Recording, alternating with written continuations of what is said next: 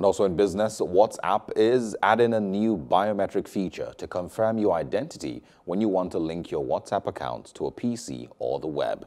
The social media app is rolling out this new feature for its web and desktop apps, which will let people create an additional authentication layer using biometrics when they want to use WhatsApp on desktop or web.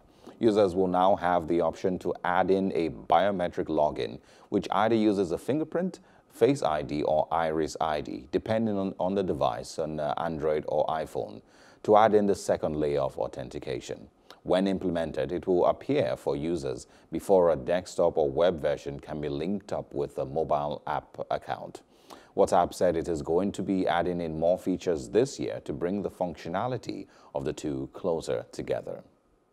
Hello, hope you enjoyed the news. Please do subscribe to our YouTube channel and don't forget to hit the notification button so you get notified about fresh news updates.